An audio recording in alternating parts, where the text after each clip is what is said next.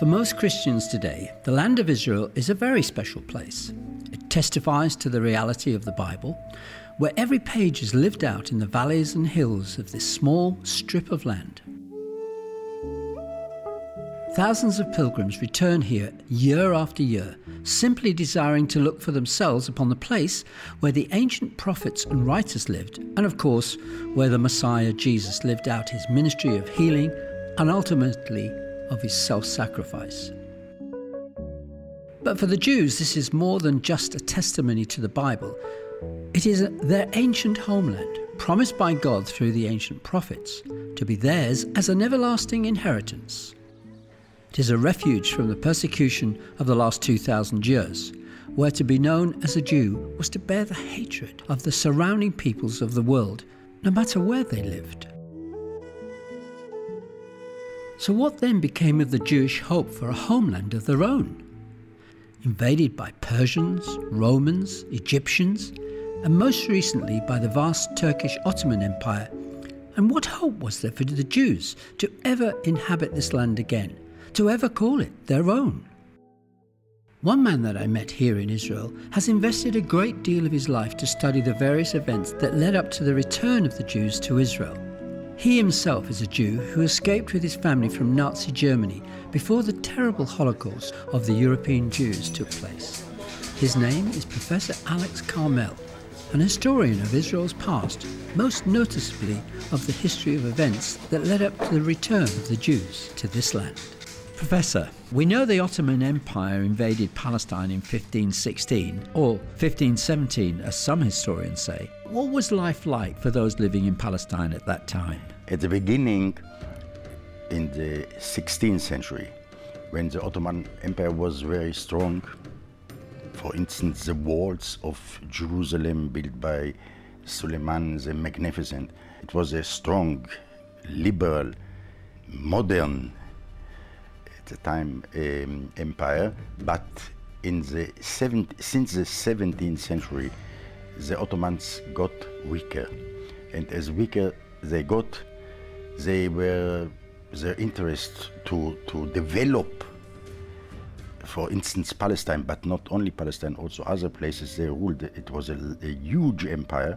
The interest uh, was going weaker and weaker, and they what they were interested mainly was to get money out of the country taxes and so on and they didn't invest almost anything and the relation of the ruling Ottomans to the population which was not Muslim was getting harder and harder and, and people Christians as Jews really suffered under the Ottoman rule until its end in World War I. In the height of its power under the rule of Suleiman the Magnificent, the Ottoman Empire ruled over a vast area affecting the lives of so many people groups. How did the politics of the Ottoman government affect Palestine and its people? The Turkish rulers, they were changed by the Turkish Sultan very often because they used to pay to get the job of being ruler of Palestine. They would pay the Sultan money, and as the Ottoman Empire got weaker and poorer, the Sultan needed more money, so he, he sold this job of being a ruler of parts of Palestine, you know, of Akko, of uh, Nablus. He, he got money, so he, at the first, he would sell this job for, for five years or for 10 years, then for three years, then for two years, then for one year, so he can, can get more often the money for selling the job. And of course, those rulers, those governors, they wouldn't invest anything because they knew we have got the job only for one year. So they took out of the country everything they could to get back the money they paid to have the job. Under uh, those Turkish um, conditions, especially from the 17th century onward to the 19th century, the country was really ruined. You had here at the 19th century hundreds of villages which were called khirbe. That means ruin in Arabic because nothing was left of the village. People left their villages because they couldn't pay the taxes. And the, and the country was almost ruined. Um, for instance, if you take the the woods, there were, were no woods in, in Palestine at the time because the peasants, to, to get some money, they cut the trees. So the, the, the land at the beginning of the 19th century was really in a stage of ruin. We know about Palestine in the 18th century mainly of books written by European Christian travelers to Palestine. There were not much because it was in the 18th century really dangerous to, to come to Palestine, real dangerous. And not many came, but eh, some came, some pilgrims or travelers, and some of them wrote books about their travels. And this, those books are the main source for our knowledge about 18th century Palestine. So they described really the country in its uh, awful condition as a ruined place which is waiting to be they, they hoped, as it was written in the Bible, that someday the land will flourish again. So many of them said, now we are waiting for the day to come. But who will, who will, the Turks will not uh, make it flourish again. Someone must come and build up the country, the holy land, the land of milk and honey, again because they said today in the 18th century nothing is left from the honey or from the milk or anything. It's poor people living here, really poor people. We know how difficult it is for different religions to live and work together. I can imagine that there must have been some issues for the various religious groups throughout those years. And until the, the last uh, years of the 19th centuries, I think that the Jews and the Muslim Arabs, they had better relations between themselves than the Muslim Arabs and the Christian Arabs. Because the Jews, for instance, they won't eat pig, and the Muslim Arabs also won't eat pig, but the Christian Arabs they eat pig. So the Jews and the Muslims thought we don't eat pig, this animal.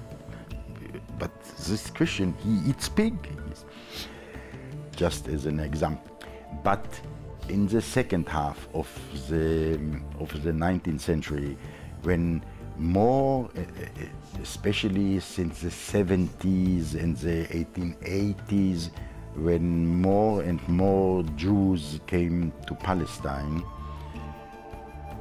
they developed slowly, but you, you can, could feel it, a hatred of the Arabs, and then you can take the, Jew, the Muslim Arabs and the Christian Arabs, I think, together against the Jews who, who came in, in real big numbers and they started to rebuild the country in a way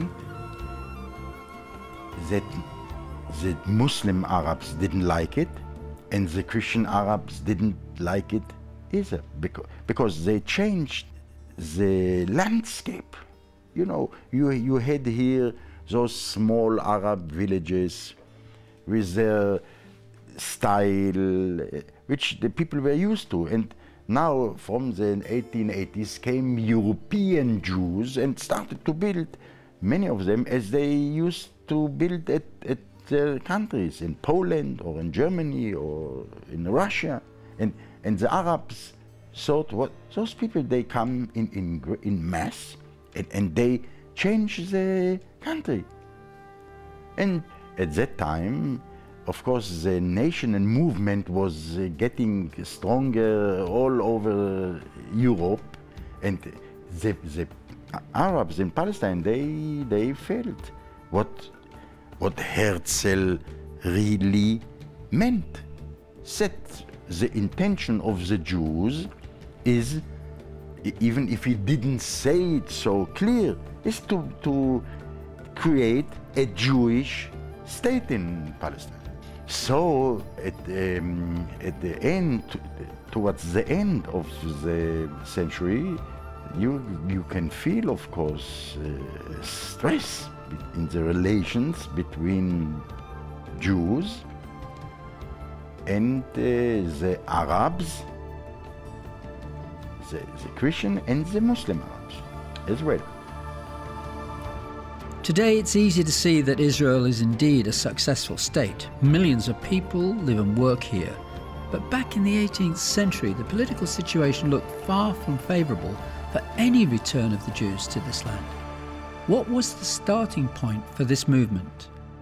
The change came from London, where at the beginning of the 19th century, the London Society for Promoting Christianity Amongst the Jews was established. The society was one of many societies. Um, this society had the idea of the restoration of the Jews. The, the people of this society believed, and not only they, there were thousands and thousands of English who at that at the beginning of the 18th century, starting in the in the end of the 17th uh, century, by the way, they believed that if the Jews will return to Palestine and uh, they in, and they will then believe that Jesus was the Messiah, then the second coming or the return of, uh, of Jesus will take place. They, they really believed in it. They were sure it, it's, it's going to be as it was promised in the Bible. So, this London Jew Society was really the main instrument at the beginning of the 19th century to make this believe reality. So they sent at the beginning of the 19th century, they sent their first people to Palestine, to Jerusalem, to start work it out. Because they said we have if we want to do this, if we want to bring the Jews back to Palestine, if we want to make them believe in Jesus, we, we have to, to do something to, we have to prepare the country to the coming of, to the return of the Jews. We have to build a church in, in Jerusalem where we can make them believe that Jesus was the Messiah.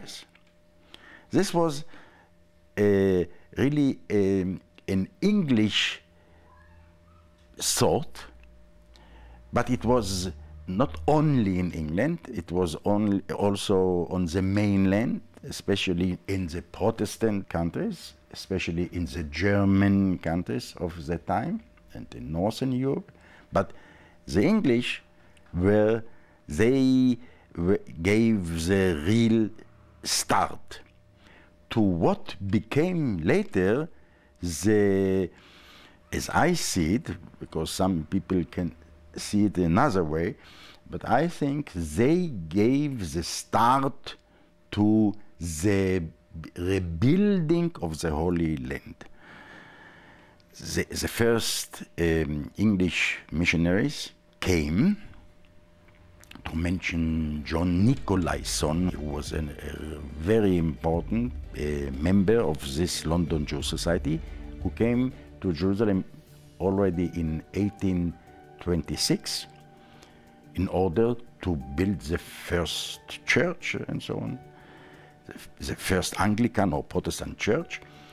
When he came, the, the, the governor of Jerusalem, who, who was not used to, to Englishmen coming to Jerusalem, and as he wanted, trying to buy a plot to build a house, and, and he called him. We have his uh, diaries of John Nicolayson, so we know it exactly. He, he asked him, Mr. Nicolayson, you are Englishman, you, you want to settle here? Why? He said, Oh, I'm a member of the London Jew Society and we believe in the, re the, restoration of the Jews in Palestine and so on, and I want to build a church. So I told him, uh, Look, Mr. Nicolayson, we Muslims, we, uh, we rule this country, we Ottomans, he was an Ottoman ruler. We uh, conquered this country in the year 1516, which was right. And you, Luther, where you say he, he established the Protestant church, he established it, you said it, in 1517. It's a little bit later, but we must be very exactly. And we recognized always all the non believers who were in Palestine when we conquered it. This was 1516. You, Luther, established a new church in 1517 we, we are not ready to recognize now new re religious uh, communities. So, so you, you cannot build here a Protestant church. You are crazy. If, if my people of Jerusalem, the Muslims, they will hear about it, they will kill you. So I give you a good advice, take your things and go home. So John Nicolayson went home to London and said to his, the members of the London Jewish Society, we had a good idea, but it's not practical because the governor there says we Protestants can do nothing. They will not recognize us as a, as a community because we were non-existent when the Turks conquered Palestine. So we'll have to wait until God will give us a sign to, to go to Palestine. And he was really lucky. Five years later, the um, Turks, the Ottomans, were thrown out from Palestine by the Egyptians, who were at that time also under Turkish rule because the Pasha of Cairo and the Pasha of Akka, of Akko, they, they had a quarrel. So the Pasha of Cairo, the Turkish Pasha of Cairo, came and threw out the Pasha of Akko and took all of Palestine. And he was a clever man. By the way, he was the father of the father of the father of, the, of King Farouk, uh, of the later King Farouk, whom we know. and he, he was very clever. His name was Muhammad Ali. And he said, after he conquered Palestine and, and Lebanon and Syria, he said he was afraid of the, that the great powers, they will push him again out of Palestine because he, Muhammad Ali, the Egyptian um, governor, he was a, an ally of the French. And the English and the Russians, uh, they didn't like the idea of a pro French rule in Palestine. They preferred the old, corrupted, but weak Ottoman rule. So Muhammad Ali thought they, they, they will throw me out, the great powers. So I must do something to get their goodwill. And what I will do, I will open the Holy Land for everyone. The Turks, they, they held the Holy Land closed. They didn't let foreigners, non-believers to settle here. They didn't let the Protestant, for instance, to, to come and, and make something for the restoration of the Jews or uh, building a church in, in Jerusalem. I will open the country. So I will get the goodwill of the, the great powers. They will say, we don't like this pro-French Muhammad Ali, and they really didn't like him, but he has his uh, advantages. He opens the country. He is liberal. He, he says everyone can come. Christians, Jews, Protestants, never mind, let them come and rebuild the country. So he opened the country, and really, the English said or thought, okay, we don't like him, but uh, he is not bad in this question. Let him rule the country and let him open it. And thus, in the 90, in the 1830s, the country was opened, and the first to come back was John Nicolayson. He said, Haha, God gave us the sign, now we come back. And he came back. And this is a real turning point, an important turning point in the history of 19th century Palestine. Thanks to this belief, there was a turning point in, in the development of Palestine. Because this, um, this belief in the restoration of the Jews brought to Palestine in the 30s, in the 1830s, the first missionaries who started to work to make this belief reality, to bring Jews to Palestine, and as they felt that the Jews are not coming so fast from Europe to Palestine because this was a, a, a country in ruin, so they thought we have to prepare it, we have to, to modernize it, and, and to make it again a land of milk and honey. So they came, those um, Christian believers in the restoration of the Jews, and they started to rebuild the country. They, they built the first, they, they, thought, what can we do? There was no, not one modern school in Palestine at that time when they started to come in the 1830s. There was not one hospital.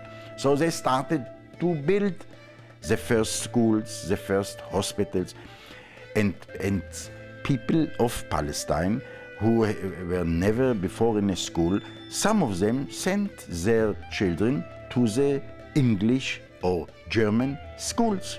And they were excellent schools because those people, they were real believers, you know, they didn't make it for money, they made it, they were teachers or physicians, doctors of medicine, out of belief that this is going to bring the end the return of Jesus. So they made it out of their real heart. Now, for the Jewish population of Palestine, those first schools and hospitals, when there were no other, those were very important institutions because uh, if we take now the, the poor Jews of that time in Jerusalem, when they were sick or their children were sick, and there were no doctors and there was no other hospital in Jerusalem besides the mission, the London Jewish Society Mission Hospital, which was the first in the city. The, the, even the very Orthodox Jews who lived at that time in Jerusalem, when they didn't want to see their child dying, they sent, they brought him to this hospital. So, um, therefore, by the way, the Jews also soon, uh, not not some years later, they started to build their own hospitals. But at the beginning, this was really for the Jews uh, a great assistance, not, not to see their children die. So the Orthodox, you know, the, the people, the Jews in Mea Sha'arim, which you can find today in Jerusalem, believe me, they are by far not so religious as the Jews 150 years ago in Jerusalem. Because they came to Jerusalem, most of them, only to die there and to be buried on the Mount of Olives to see the Jewish messiahs coming. So they were extremely religious Jews, but even they, when they thought our, our baby is going to die, so we bring him to the mission society, And they did it. And uh, therefore, if, if some Jews, many Jews said it's, it's a scandal you, that you make such a thing, you bring your child to the mission society. But they did it, and it was, again, as an historian, it was a great help for, for the Jewish community in Palestine at that time. If anyone visits Israel today, they may not be aware of the part the London Jews Society played in the events leading to the return of the Jews to Israel. So, is there any lasting legacy that one can see today from those early days of the Society's history? The main place in, in all of Palestine, which is connected to the London Jew Society, they did a lot. They built the schools and hospitals and, and so on and so on but the headquarters was Christchurch. For Zion's sake, I will not keep silent. For Jerusalem's sake, I will not remain quiet till her righteousness shines out like the dawn, her salvation like a blazing torch.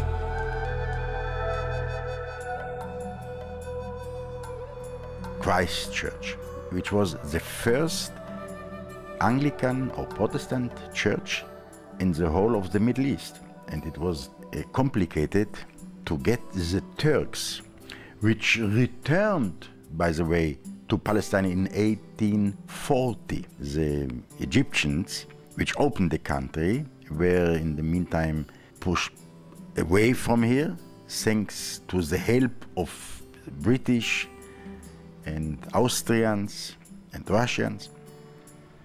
So the Turks came back and they tried to keep the land closed again.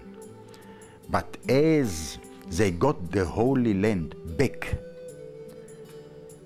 thanks to the help of the great Christian powers, except for France, which was an ally of Egypt, the English and the German succeeded in persuading the Turkish Sultan to make a extra non-conventional thing and let the Protestant for the first time even that they were established only one year after the Turks conquered Palestine in um, 1516 they said okay, now you helped us to get back the Holy Land, and we will enable you, Protestants, also to have a church in Jerusalem, and we will recognize your community as one of the non believer communities.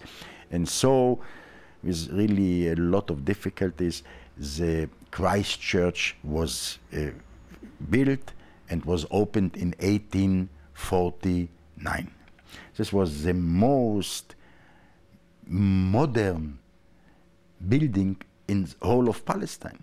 In, because with, with Christ Church, it, it began to, to the, the other um, great powers also began to invest money and to build many beautiful churches. But the first really beautiful building in all of Palestine was Christ Church, 1849. Now, from this headquarters in Christ Church, the London Jews, which belonged to the London Jew Society, and I think it belongs to them till today. Um, I can tell you something I found in Lambeth Palace in London, uh, between among the documents in the 1880s, that means 40 years after uh, Christ Church was built, in the meantime, in 40 years, the Russians, the French, the Austrians had also beautiful church and hospitals and so on. So the Church of England said, we want now to take old Christ Church which was once such a beautiful building, but now our the other uh, churches and states built bigger places and, and more magnificent. We want to enlarge it. We want to make of this Christchurch a cathedral.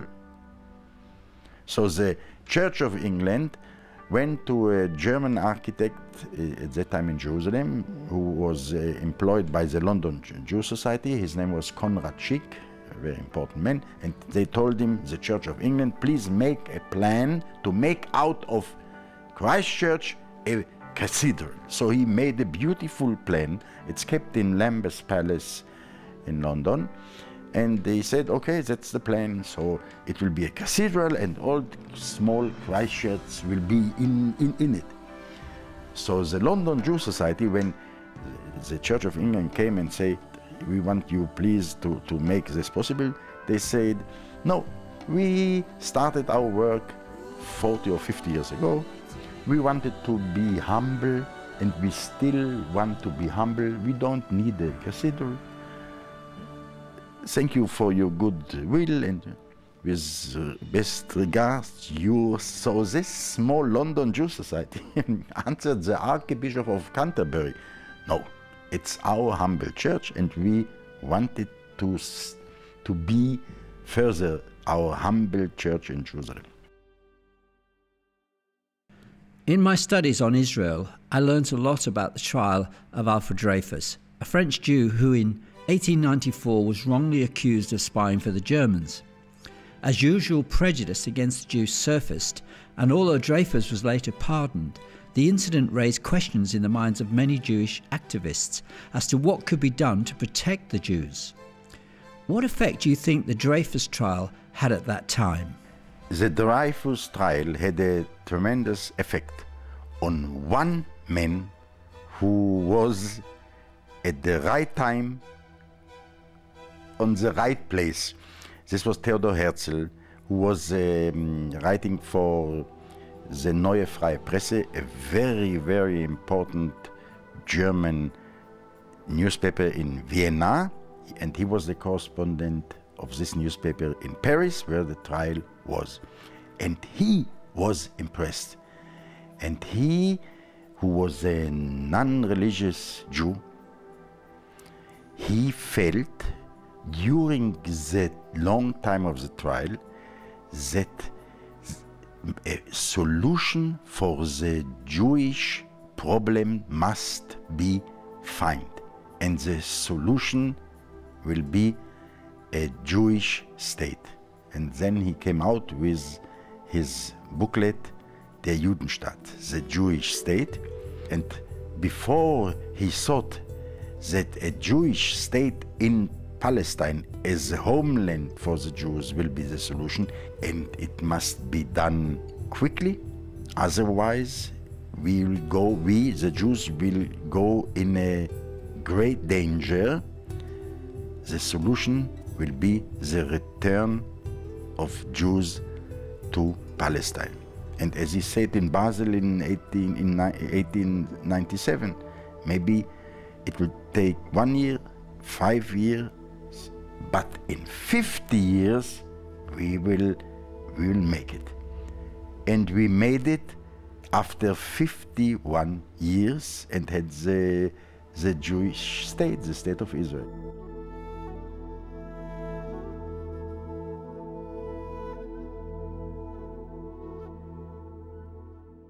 So, on that note, what part did Hechler play in making this happen? Hechler was um, William Henry Hechler, who was, uh, I think, Herzl's closest Christian friend, first of all.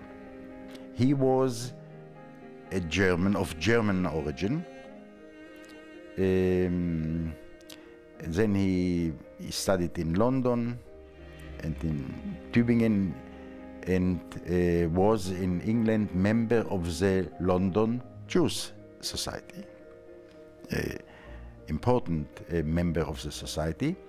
And when he heard about the pogroms in Eastern Europe, he went to Russia to help the Jews to, to really to save them. And he came and told them, let I, I uh, advise go to Palestine.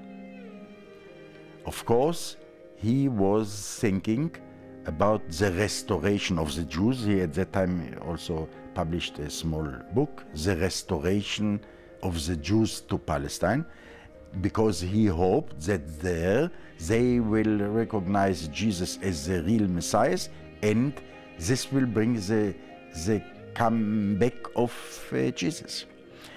Then, uh, this was in the 80s.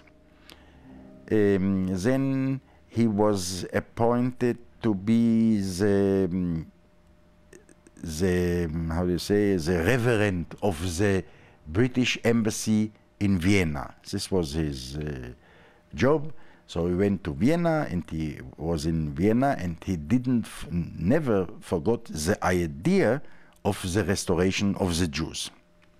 In the meantime, he was educator of the grand, of the children of the Grand Duke of Baden, who was an, an important man and a, a extremely fine man, Grand Duke Friedrich.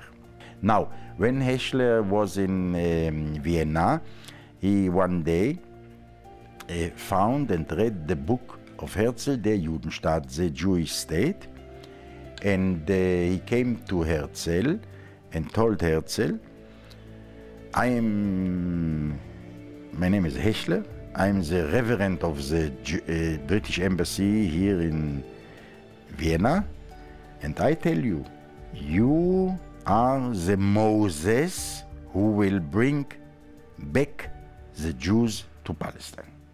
So Herzl, you can find all this in his uh, diaries, in Herzl's diaries. So Herzl said, you know, maybe you you, you believe in this, but I'm a, a man who works very realistic.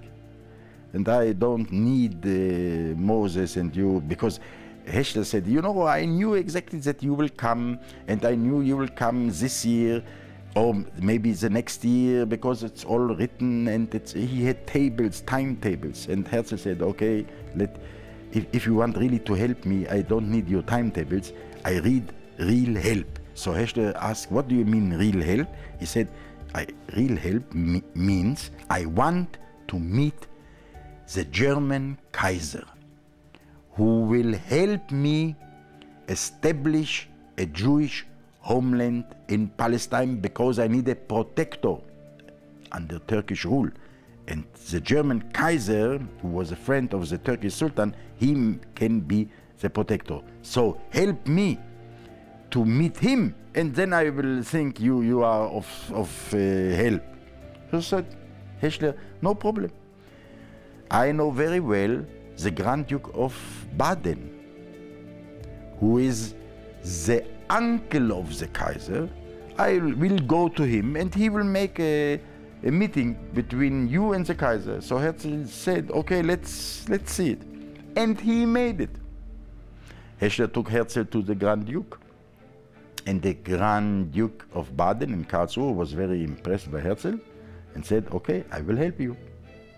I will help you because this is a, a, a good and the right idea to give the Jews a homeland of themselves.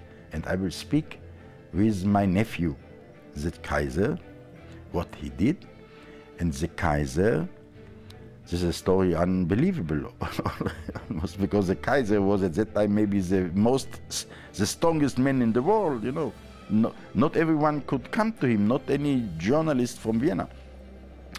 The Kaiser at that time, he was uh, on the way from Berlin to Jerusalem to open the Protestant German church in October 1898 and he said, okay, I will meet Dr. Herzl in Constantinople and, and I'll hear what he wants. And then they met, Herzl and the Kaiser. And uh, the Kaiser heard Herzl and said, you know what? I will help you. I will help you. Even, and he wrote to his uncle, I will help you, you Herzl, even nine tenths of the Germans will laugh at me that I help the Zionists. But the, so many evil was done to the Jews that let's, because the German Kaiser, he was not uh, very fond of Jews. He said, he, he wrote to him, God didn't appoint me to punish the Jews. They were punished enough. And I know that nine tenths of the German people will laugh at me when they will hear that I'm helping the Jews, not only helping them, that I'm ready to be their protector in a homeland they want to establish in Palestine. And then uh, Herzl, after the Kaiser said, okay, I will help you, I will speak to the Sultan, who is my friend, and we'll make it. I'll be the protector of your Jewish homeland in Palestine. And Herzl left with Hechler, they were together. He left Constantinople and went to, his, to Palestine, to Jerusalem, to wait for the Kaiser. And here, and, and also he wanted to announce it, that now our program, the Basel program, to establish a Jewish homeland in Palestine, it's now going to be reality under the protection of the German Kaiser. We do not know exactly what how the um, discussion between the Kaiser and the Sultan was. What, how, how, how they dealt this thing. We can imagine because no one was present. We can imagine, I can imagine, that the Kaiser told the Sultan, I have also a request, you know, there's Zionists and they want, they want the Jews come back to Palestine and this is good for you, Mr. Sultan, or how, because the Jews, are clever they will bring a lot of money to Palestine. You are a poor country, but the Jews, they will, they will pay a lot of taxes. This will help you to, you, you, you owe so much money. So they, you will have now the money, because he told him, the Jews, you know, they are rich. They, he will say, Rothschild and so on. Help this Mr. Herzl, and it's good for you. So I imagine that the Sultan said, you know, uh, Kaiser, Mr. Kaiser, you are my friend, and if you ask, I'll do it. But I, I don't like the idea too much, you know, because Palestine is also holy for us Muslims, and I, am not uh, so fond of the idea that it will be Jewish. Now the Kaiser, who was not really prepared to, when he saw that the Sultan is, is not in favor of these things, he thought, I'm not going to quarrel with the Sultan because of Dr. Herzl or my uncle, the Grand Duke. So when he came, because you must understand, for the German Reich at that time, it was very important to get the Ottoman Empire on German side in case of a great war, which later happened. So he will not give up this priority for, for uh, some idea of, of Dr. Herzl. So uh, when he came to Jerusalem, the Kaiser and Herzl, in, the head of a Zionist delegation, were waiting in the camp of the Kaiser, dressed all in black frocks, you know, and so on the Kaiser, instead to declare what Balfour did, uh, uh, by the way, it was on the 2nd of November 1898, on the same day as in 1917 the Balfour Declaration was, also on the 2nd of November. On the 2nd of November 1898, Herzl came to the Kaiser and thought now he will say, I will be a protector of the Jewish state or homeland in Palestine, not state because it was in, in the Ottoman Empire. But the Kaiser said, Hello, Dr. Herzl, how are you? It's a hot day. Don't you think it's hot? Don't you think they need here water and shadow? And, and uh, I really wish you all the best and thank you for coming and seeing me. So this very sad story, in German you say, es ging in die Hosen. It doesn't work out at all. So therefore, and, and the, it was a German Kaiser, Germans and, and so on. When you think what happened later, we uh, Israeli historians, we, we, don't make a big think of it. And he, it was forgotten almost. And the Duke, the good Grand Duke of Baden, who was really excellent man, no one knows who he is. There's no Hechler Street, there's no Grand Duke of Baden Street. Um, and uh, they were really all forgotten because it, it, didn't work out. But what I am glad because I like Hechler very much because he really wanted to help Herzl and uh, even Herzl in his diaries said he never spoke with me about the Jews making out of them Christians. Never. He just wanted to help me to to fulfill my wish to bring the Jews to Palestine. And he did it in, with all his heart. And when Herzl was dying, on his dying bed, he, in the summer of 1904, he said to, to, the, to his friends, hey, when I'm now going to be dead, don't forget to pay Hechler a pension all his life because of his help. And Hechler, who later became a poor man, he lived out of this pension until he died in, in some public hospital in London in 1931. So at least this we did. Whenever people talk about the restoration of the Jewish state of Israel, the Balfour Treaty invariably gets mentioned. What was the history behind it? When Balfour was running, I think, for elections for the parliament in Manchester at the beginning of this century. And Chaim Weizmann, the uncle of our president today, was a young man at the chemist at the University of Manchester. And Balfour was told he is a young man, but he is a very serious man. Maybe, and he is the head of the Zionists in Manchester. So um, he was told Balfour, maybe you, you meet this man, and Balfour met him, and um, he said, okay, Mr. Weizmann or Dr. Weizmann, tell us something about uh, your Zionist organization. And Weizmann said, yes, we Zionists, we want to bring the Jews back to Palestine as promised. And he said, hey, one moment, it's, it's not a new idea. This, I, I can remember this idea. It was always going in the house of my great par parents. They, they used also to speak about the restoration of the Jews.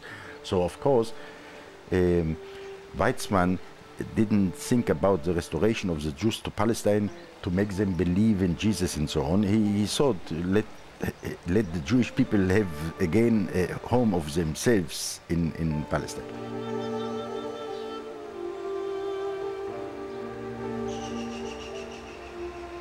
during World War One, when every, not only the British, also the Germans, they wanted to gain the, the Jewish sympathy for their case in the war, um, the British government thought we'll do something for the Jews, also for the Jews in America, because the British government at that time wanted to get America into the war and so on. So, um, out of that old idea of the restoration of the Jews, which was really very popular, very popular in, in England, came the British thought, let's help the Jews to really to have their, their state again. It's now the, we are in war against the Ottoman Empire, which is uh, which is corrupt, which shall be put to an end with this war, and then it shall be uh, departed into many states. Let the people of uh, the region say, we want Syria, we want Lebanon, we want Iraq, I don't know. And let the Jews have their own state as in the Bible it was promised. This, this was really a, an idea running through England for many, many decades. It was at that time not so strong at, as it was 100 years earlier.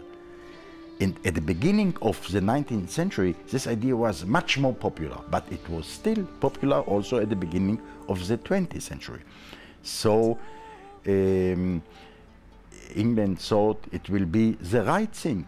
And I, I, believe now it's my belief. I'm not now. I'm not talking as an historian, but I think it, it was really the right thing to do, to let the Jews have also a, a place of for them, and there's no other place than Palestine, as uh, 40 years later, or uh, after World War II, it, it, needed another war and the Holocaust to, to make the world understand it and, and decide to make it. But the English already in the, during the First World War thought this is the right thing to do. And um, then it was important for the British Army in, during the war to, to take Jerusalem. This was not, uh, not uh, out of war uh, strategy so important, but they thought it, it will be a nice thing that we, the English, will take Jerusalem and we'll give it as a present. We English will take it out of the Ottomans and we will present it to the Christian world. And they make big efforts at the end, uh, by the way, at the end of 1970 to capture Jerusalem. And they really captured it. At, at the beginning of December 1970, they captured Jerusalem and they said, now we give it for the Christian world as a present, the, the holy city. And it, it was not the Russians, it was not the French, and not the Germans, it were, were, the English who took Jerusalem and uh, made Palestine or, or the Palestine was giving was given as a mandate to the British. And when Allenby, uh, the general at that time, went into Jaffa Gate in 19 in December 1917. He was the man who conquered the city and he went by foot into the holy city. It, it seems that it was the right thing that it was General Allenby who took Jerusalem because the English were those who started at the beginning of the 19th century with the London Jew Society all the procedure of, of developing Palestine. So did the Balfour Declaration have an effect? And did many Jews return to make their home in Palestine? At the beginning, the English, they really opened the country. After World War I, they said, we open it and let the Jews come. But the Jews didn't come. This was uh, our Jewish uh, failure. We didn't come. And Chaim Weizmann was saying, all the time was running all over the world saying, come, but they didn't come. And when they wanted to come, the English in the meantime uh, changed the policy and, and restricted it. This was your policy, your English policy. At first, you, as you said, you gave the Balfour Declaration to build uh, the Jewish homeland here. But during the years, you, there was such a Arab pressure on the British government, and the Arab world is a strong world, and they have under the earth strong oil. So the British started, instead of letting us Jews come to Palestine and rebuild it, they, they started to say, no, no, no, not too much take it easy. We don't want to to be Palestine to be too Jewish. The, the Arabs were here, there were more Arabs, and they we want to keep it so that the Jewish Jews will be a minority. The, This I can remember when I came in 90, in 39, when I arrived at Haifa. I can remember the demonstrations of the Jews here in Haifa saying, what opens, open the doors, keep your promise. But you didn't keep it. You didn't keep it. Professor, uh, there are lessons here to be learned. History sometimes has a way of repeating itself. There are rumblings again in many countries of the world and a rise of anti Semitism. So, is the writing on the wall with regards to the persecution that could come upon the Jews? And what would you say to these Jews living amongst the nations of the world today? If the Jews in the world will uh, hear what I suggest, I would say, come to Israel. Because you can never know, and I'm not the first to say it, there were great people. There was Theodor Herzl. In a time where Jews um, were not persecuted, you know, were not killed, but he, he felt and he said, if we want to keep our nation alive, let's bring them to the land of Israel. And he was not a religious Jew, he was a wise Jew, seeing also into the future. And you can never know what the future tells, no one can. And in America, where we have so many Jews, and America is a very democratic and liberal uh, state, you can never know. And I will suggest do as my parents did and come to Israel and let us build up Israel. There's a lot to do still here. Professor Alex Carmel devoted so much of his life to teaching and writing about the history of Palestine, now Israel. He died on December the 18th, 2002, in the seaport of Haifa, the place that he loved so much.